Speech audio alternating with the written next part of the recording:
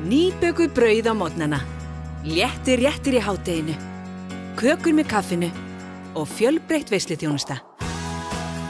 Bakaramestarinn. Nú er komið ný og glæsileg lína af